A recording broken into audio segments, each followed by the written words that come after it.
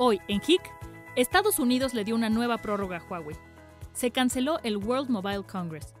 Te contamos todo lo que quieres saber sobre la red 5G. Entrevistaremos a Bernardo Ruz, desarrollador de la aplicación Hammer Security. Buenas tardes, muchas gracias por acompañarnos a HIC para estar al tanto del mundo digital. Hoy tenemos un programa muy padre, ¿no? Vamos a regalar un teléfono que para ganárselo tienen que meterse al Twitter de El Heraldo de México y ahí viene la dinámica. Está muy padre, así, ah, así, perdón. Ahí está. ¿no? Y además tenemos un unboxing de un teléfono plegable padrísimo que justo acaba de terminar la preventa y no se lo pueden perder. Vámonos con un resumen de lo más importante que ha pasado en el mundo digital esta semana.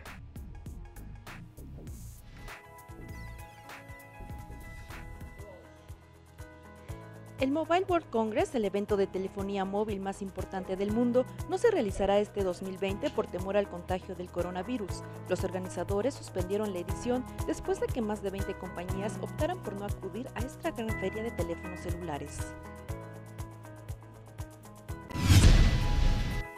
China extenderá el uso de las redes 5G en la actual lucha contra el brote del nuevo coronavirus. El país asiático promoverá la implementación de la tecnología, incluyendo macrodatos, inteligencia artificial y 5G, ya que han tenido un papel importante en el análisis y prevención de epidemias.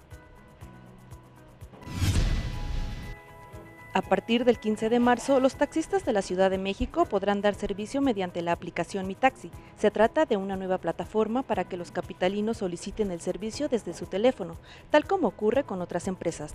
Hasta el momento, existen 8.000 conductores inscritos, de los 70.000 que están en el registro de operadores del transporte público y privado.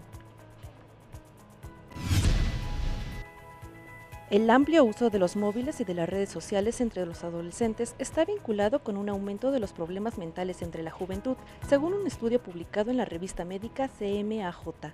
La investigación señala que este fenómeno se ha incrementado en Norteamérica, a la par del creciente aumento de dispositivos electrónicos durante la última década.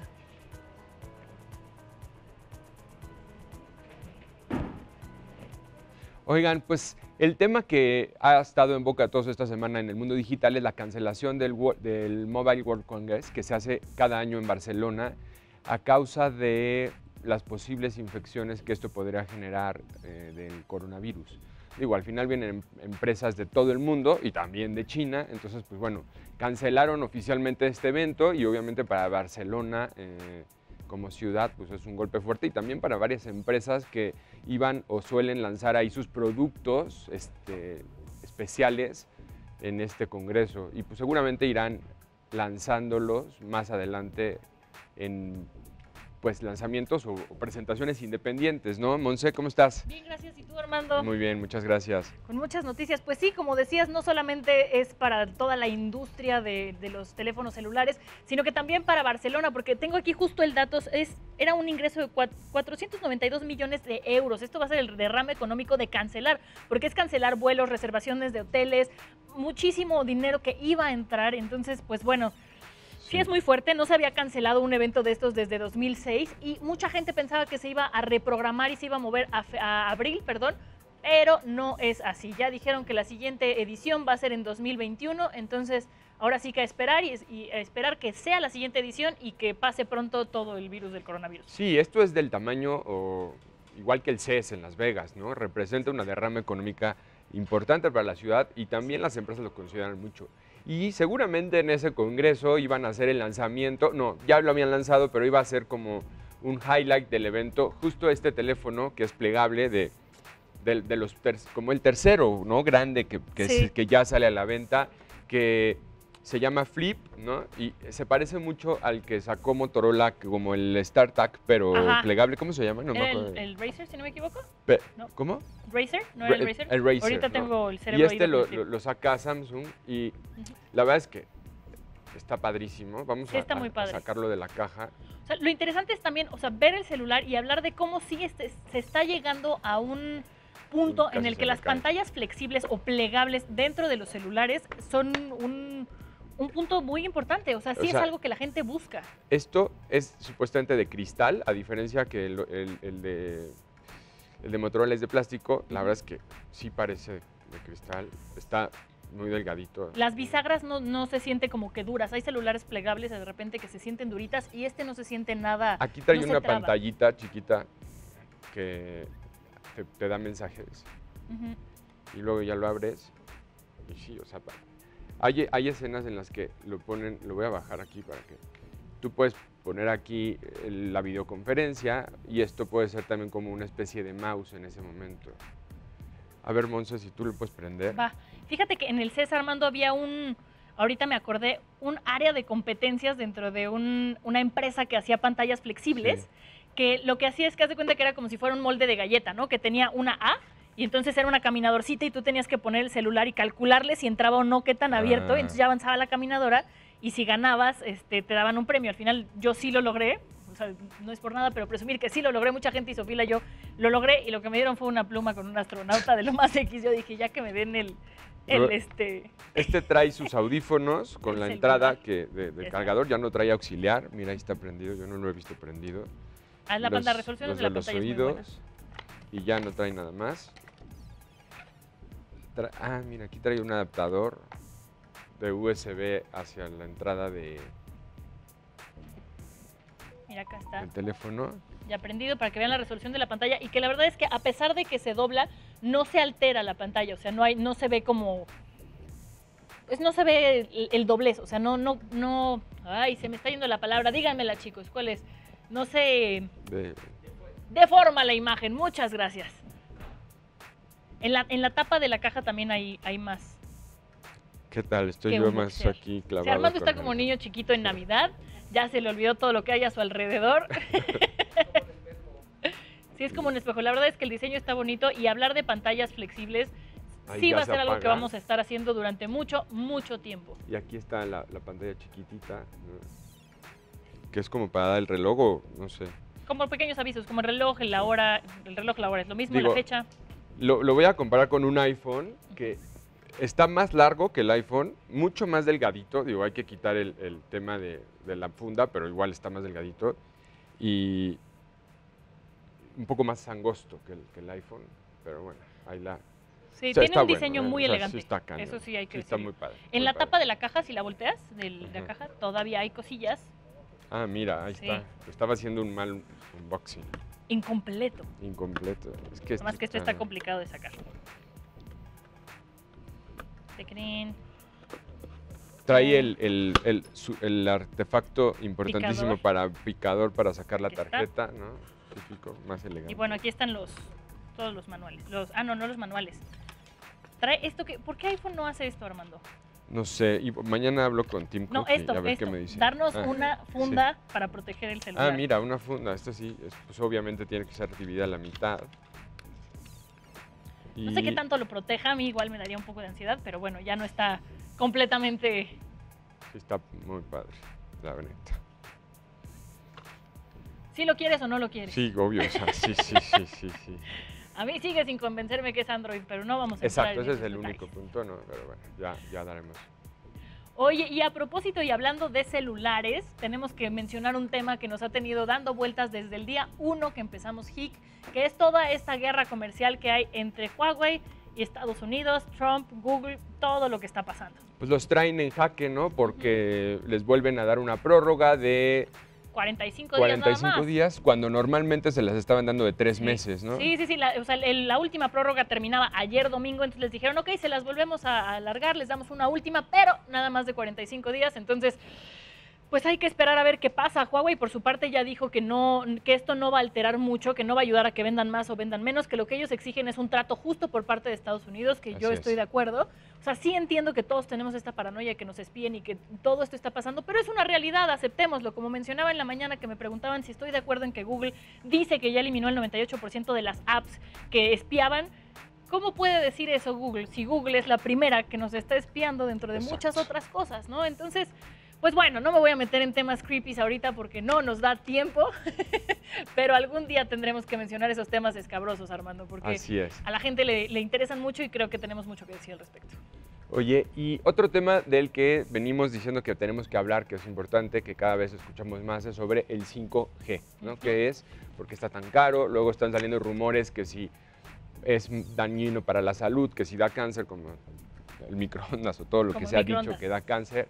Pero la, realidad es que sí, sí cambian eh, las maneras de transmitir los datos, la información, la velocidad pero sobre todo no es las antenas que actualmente tenemos no sirven, ¿no? Tienen que haber antenas especiales con menos distancia entre una y otra, por lo tanto eso hace que para que llegue a una ciudad o a un país, pues tome más tiempo, porque es una inversión grande que tiene que hacer ya sea el país, la empresa eh, de telefonía o, o, quien esté involucrado en esto, ¿no? Sí, pues mira, nosotros sabemos es muy caro, no hay mucha gente que quiera hacer esa inversión tan fuerte dentro de, dentro de nuestro país, al menos vamos a hablar aquí nivel México, ¿no? Porque mucha gente decía, ah, 2020 5G para todos, no es una realidad, puede empezar a moverse, pero que vaya a llegar y que ya vaya a ser algo que todos conozcamos y que tengamos acceso a, no, no va a pasar, al menos yo no lo veo en 2020 pasando aquí en México, pero lo que sí es que hay países que ya están empezando a invertir, a invertir perdón, mucho en estructura, como en Estados Unidos. En Estados Unidos una de las empresas más grandes que es Verizon ya está empezando a hacer pruebas en, distintas ciudades como mm, Chicago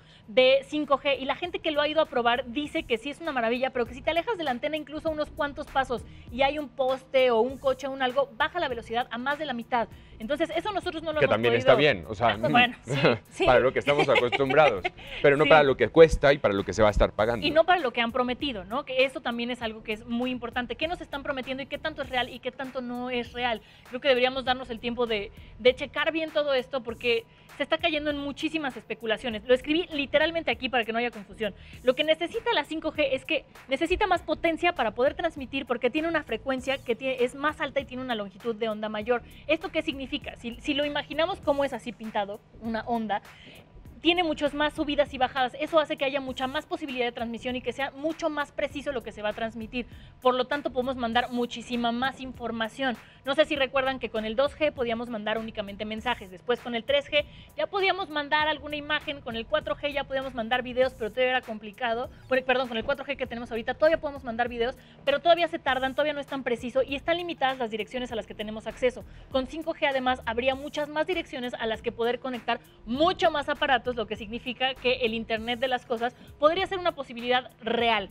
Entonces, sí, estamos aspirando a ir hacia allá, pero todavía no es algo con lo que podamos contar en un futuro próximo, por un lado. Y por otro, también otra de las cosas que pasa es que en Estados Unidos hay empresas que si tú vas, por ejemplo, a mí en mi celular me aparece 5GE entonces, este 5G lo que están queriendo hacerte creer es que es un 5G que ya funciona, pero no es cierto por dos razones. 5G es una cosa que se aproxima, pero no es, y además mi celular no es un aparato que pueda recibir 5G.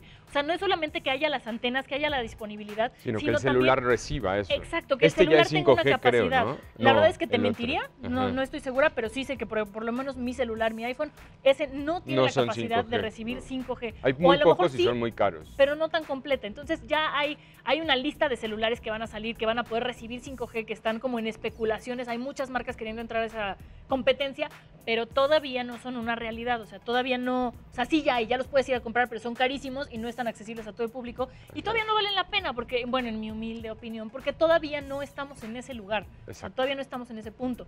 Respecto a lo que mucha gente se pregunta sobre si 5G puede ser dañino para la salud, no es más o menos dañino que lo que ya tenemos con el 2 o 3G, porque aunque sea mucho más la potencia que se necesita, no hay una prueba contundente en ninguna de las instituciones que se dedican a checar eso que diga si hace daño ni que diga no hace daño. Entonces estamos en una postura neutra. Lo que sí es que la gente se imagina que van a ser antenas como hornos de microondas abiertos que nos van a poder dañar a la primera. No, porque en teoría estas ondas no pueden penetrar la piel, entonces no te pueden hacer daño. No son ondas ionizantes como pasa con materiales radioactivos.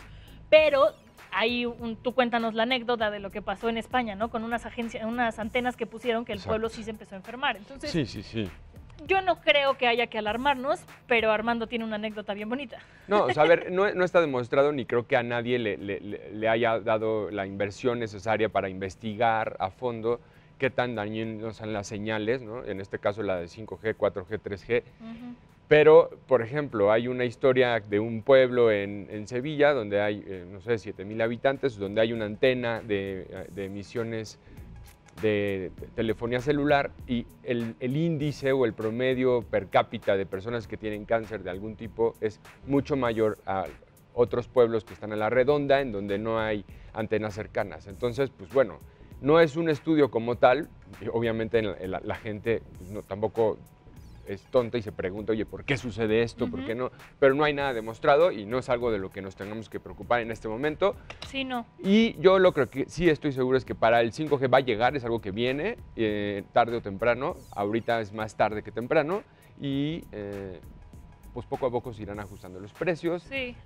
Irán habiendo más ciudades, artefactos y cosas que soportan el, 5G y eh, aquí se los estaremos contando. Sí, porque incluso aquí tengo el, el, Center for Disease Control and Prevention dice que no hay evidencia científica de que haga daño. Entonces, o sea, no hay de que tampoco lo haga, o sea, no hay de que sí ni de que no. Simplemente es como una cosa que está la pelota en el aire. Todavía no lo sabemos. Yo sí creo que de alguna manera puede afectar, pero no creo que sea una cosa mortal que nos tengamos que preocupar. Pero, por ejemplo, en Estados Unidos hay dos lugares que aquí tengo, Mill Valley y San Anselmo, que ya prohibieron la entrada de 5G. Entonces, bueno, ¿En dónde? ¿En California? No, en Mill Valley y San Anselmo. ¿Pero dónde está eso? En Estados Unidos. Ah, ah. Si veo el mapa es acá. Suena pero como en California, ¿no? Pero lo interesante es cómo ya se está prestando a, todo este tipo como de, diferencia, de opiniones encontradas. Entonces, pues bueno, habrá que ver, habrá que esperar. Por lo pronto, lo que sí podemos asegurar prácticamente, Armando y yo, es que en 2020 esa teoría de que íbamos a estar llenos de 5G en México... Falta todavía. Falta todavía y que va a ser algo bueno. Yo sí creo que va a ser algo bueno habrá que esperar. Habrá que esperar porque todavía hay muchas cosas en el aire. Así es. Oigan, pues vamos a una cápsula que tenemos preparada sobre apps de seguridad o para seguridad. Para el combate de hechos delictivos en México, diversas instituciones públicas y privadas echan mano de la tecnología en el desarrollo de apps que permitan a los usuarios actuar ante alguna emergencia. Existen diversas aplicaciones que buscan evitar delitos como las extorsiones o el secuestro virtual, otras que ayudan a recuperar datos de teléfonos robados o incluso bloquearlos, y algunas fueron diseñadas con el objetivo de localizar a personas desaparecidas. Para ello, estas plataformas ofrecen diversos protocolos de respuesta con el fin de apoyar a usuarios y familiares durante una situación de crisis. Por ejemplo, algunas cuentan con las siguientes características. Llamada de emergencia, un botón de pánico que el usuario podrá activar para alertar a la red de contactos o autoridades pertinentes ante una situación de riesgo, enviar ubicación en tiempo real o localizar un teléfono celular mediante la tecnología GPS, envío de mensajes de texto, voz o video a la nube de manera automática durante un hecho delictivo, bloqueo del celular o apagado falso, y si alguien intenta desbloquear tu teléfono, algunas enviarán una selfie de quien lo intenta. Para el funcionamiento de estas apps es posible que te soliciten datos personales como nombre, dirección, correo electrónico, ubicación geográfica e información médica para completar tu perfil. Aunque muchas de estas aplicaciones funcionan con el dispositivo encendido, conectado a Internet y con permiso de ubicación, existen algunas que ofrecen el mismo servicio con el teléfono apagado. Y aunque puedes encontrar una gran variedad de estos softwares móviles gratis o de prepago, lo ideal es descargar las que ofrecen instituciones oficiales con el fin de evitar instalar aplicaciones que únicamente se dedican al robo de datos. Oigan, pues ahora vamos a ir con una entrevista con Bernardo Ruiz, que es el desarrollador de una aplicación que se llama Hammer Security, que promete, entre otras cosas, poder localizar tu celular incluso si este está apagado. Lo tenemos por ahí en Skype, eh, con dudas con nuestro productor. Ahí está. ¿Cómo estás, Bernardo? ¿Nos escuchas? Hola, sí, Armando, hola, Monse. Oye, este, pues está muy interesante la aplicación que, que, que nos estás planteando sobre poder localizar tu celular si te lo roban o si lo pierdes, incluso como cuando está apagado, ¿no? Digo, tengo un montón de preguntas, pero la, la primera que te hago es cómo, cómo le haces, ¿no? O sea, en teoría es una especie de hack, ¿no? Porque está, no hay electricidad, no, no, tiene eh, energía el teléfono. Entonces, ¿cuál es el, el, secreto? Claro. Pues mira, el truco aquí es que está apagado. O sea, en realidad por atrás, obviamente, si, si estuviera en realidad apagado, no podría enviar toda esa información. Este, todo comenzó con la duda de ¿por qué cuando se roba un celular o por qué cuando sucede un secuestro no funcionan las apps de rastreo? Y nos dimos cuenta que porque acá apagan el celular. Y entonces en mi mente fue, pues ¿cómo lo hacemos para un poco este, ponerlos en jaque y hacerles pensar que está apagado. Y totalmente parece que está apagado, pero en realidad por atrás sigue encendido y empieza a enviar información valiosa a tus contactos de emergencia. Pero entonces eso tú lo haces a través de la app. Cuando apagan el celular parece que está apagado, pero está prendido porque la app lo indica así o porque ya se convierte. Okay. Sí, o sea, la app detecta, es una app inteligente porque detecta emergencias sin ninguna acción tuya. Entonces hay diferentes detonadores. Uno de esos detonadores es si la app detecta que están intentando apagar tu celular, se va a activar y ahí es cuando va a simular ese apagado. Ya, ya, ya. Ah. Ok, ok, ok. tengo una duda muy, muy, muy, muy básica, pero bueno, como ya habrás escuchado, nosotros, bueno, yo tengo iPhone, entonces es iOS. y entonces, pues mi pregunta es, ¿tienes planes en algún momento de implementar esto para iOS? Porque hasta donde investigué y hasta donde sé, solo está disponible para Android, ¿cierto? Cierto, pues mira, sí, sí tenemos planes de, expandirnos a iOS, pero definitivamente no vamos a poder tener las mismas funcionalidades que, tiene actualmente Hammer. Porque iOS limita mucho lo que podemos hacer como programadores. Totalmente, estoy de acuerdo, sí. Entonces, si de por sí es difícil detectar que lo estás intentando apagar y, que simular el apagado falso en un Android, en iOS, de momento es imposible. Vamos a buscar alternativas y, y, esperemos la encontremos, pero si no, de todas maneras planeamos tener una app bastante efectiva este, para iOS es que la verdad es que me la vendiste y dije, va, la quiero y no la pude. Entonces yo sé que es la pregunta incómoda, pero bueno, tenía que hacerla ahí por un interés personal nuestro y de la audiencia, porque sí, me parece que es una app muy innovadora y muy interesante porque vence todas estas cosas que se nos presentan cuando nos roban un celular es de ah es que está pagado ah es que no lo, pagan directamente ah es que están este, te lo robaron para sacar tus cuentas de, este, tus contraseñas del banco todo eso está o sea me parece que es una app muy innovadora y que cumple con todos los requisitos de que nosotros quisiéramos en una app de seguridad. Solamente le falta esa única cosa. Oye Bernardo. sí, claro no es la única que ha hecho esa pregunta. Tenemos muchos usuarios que esperan ansiosamente la versión de iOS y nosotros también nos encantaría pero pero sí es un plan a, yo creo que a largo plazo, lamentablemente. Esta aplicación eh, la desarrollaste tú en, aquí en, el Estado de México, ¿no? Pues mira, primero este, comencé con un equipo en la India porque, como mencionaba, es una aplicación bastante técnica. Es este, lograr esto del apagado falso no, es algo fácil. Entonces comencé con un equipo en la India, este, los cuales eran bastante, bastante buenos pero bastante caros. Entonces eh, se acabó el capital y, entonces, bueno, desarrollaron lo más difícil, que era lo del apagado falso. Posteriormente yo ya este, me dediqué a programarla 100%. Ok. okay. Oye, y ya está en uso, ¿no? Tú ya si tienes un, Android puedes descargarla y, utilizarla. Así es, digo, la verdad es que este, de repente fue un boom que se dio a conocer mucho la aplicación.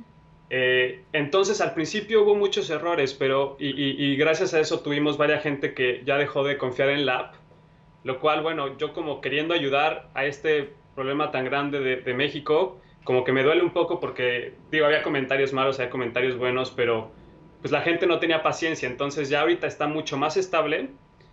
Sin embargo, sigue habiendo pocos errores que estamos buscando resolver poco a poco. Ok. ¿Y esto tiene costos? O sea, ¿tú, cobras por descargarla o por usarla o no? ¿O es gratuito? Actualmente no, sin embargo, sí va a tener un costo eventualmente. De hecho, eh, este, en el corto plazo, como en un mes más o menos.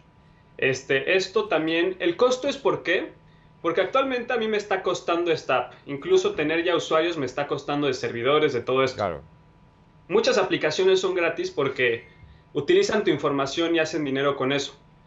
Yo, en verdad, nada más, bueno, Hammer, en, Hammer queremos ayudar y, por eso no, o sea, sabemos que les preocupa mucho su información, este, más cuando es una app de seguridad y entonces, pues si no podemos vender este, su información y la vamos a vender nunca, entonces de alguna manera tenemos que soportar estos servidores. Y entonces va a ser con un, este, una suscripción.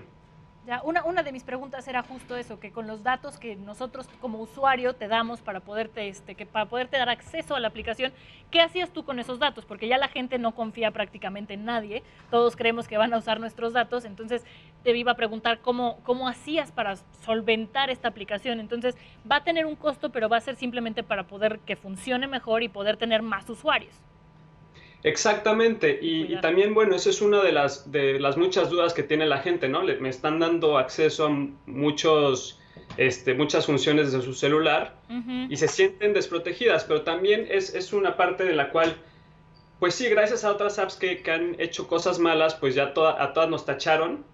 Y pues si en verdad yo nada más quiero ayudar, a fuerzas me tienen que dar acceso, por ejemplo, a su ubicación o a su cámara, si es que tienen, quieren tener fotos, pues del criminal. Y sin esta información, pues tampoco los puedo ayudar yo, pero pues sí, estoy entre la espada y la pared. No, a mí, me parece una aplicación muy interesante. Honestamente, yo prefiero confiar. ¿Tienes aquí datos de si se usa mucho la, aplicación? O sea, de las personas que ya la han descargado, ¿con qué frecuencia utilizan este eh, sistema? ¿Con qué frecuencia la usan? Ahorita no, o sea, no tengo esos datos. Este, pero pues de, descargas sí, sí tengo ese dato, más o menos han sido como, como 160 mil descargas. Ah, pues está muy bien. Yo tengo varias preguntas. Tengo varias preguntas más, pero a ver si fuera del aire después podemos hacerlas y nos armamos una nota o algo, porque se nos está acabando el tiempo.